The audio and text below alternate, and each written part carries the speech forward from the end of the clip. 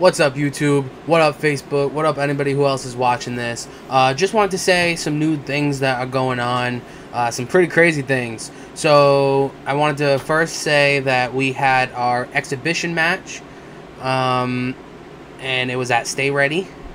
It was yesterday, last night. It, it was freaking amazing. It was awesome. Um, I gotta thank you, Stay Ready, um, and everybody at Stay Ready dude, great place, great gym to go to. Um, you know, there are a bunch of professionals down there and really nice people. They invited us to do some exhibition matches, and me and Sean, as you guys know, uh, had an exhibition fight. And yeah, I made it all three rounds. Um, and it was, it was just a it was a great fight. Um, I'm sorry we couldn't get any clips. Um, couldn't really get pictures or videos because of everything going on. Oh my god, my phone's going off. Let me throw my phone away. There we go.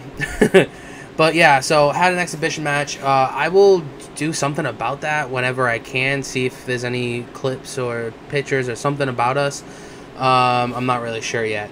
But it worked out great. My match went all three rounds, and uh, honestly, I thought I was fighting someone a lot heavier, someone my size. Um, I ended up having to fill in for someone, uh, actually Manny, who couldn't fight, so I ended up filling in for him. So I had to fight someone that was uh, about 100 pounds lighter than me. He was like 175.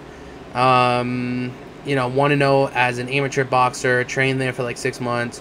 So, you know, I never used that heavy of gloves. There was a lot of downsides on the match, but I think overall I did really good. I think I, um, Sean did really good too, you know, and it was just uh, overall really good. Other than that, I just want to let you guys know I'm sorry we haven't been posting. I promise, I promise, I promise, I promise we will be posting like crazy now.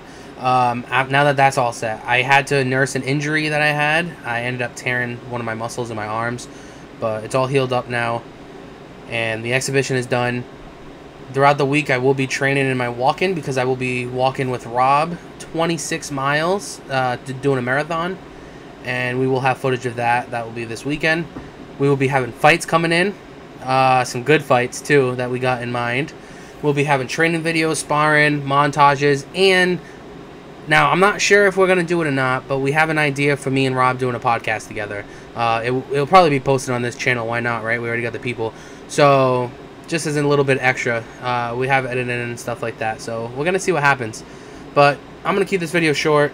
Thank you guys for watching we have big things coming, and uh, you know they said we're welcome back at Stay Ready, so I'm really hoping that happens and we can actually get footage next time.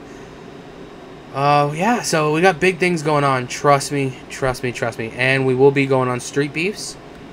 I'm not sure the exact date yet, but that will be happening, and this channel is going to be growing really quick, really soon. So prepare to start seeing videos coming in all the time and I'm gonna have a admin meeting with Rob soon, and we're gonna talk about what we can do with getting the ball rolling. So thank you guys so much.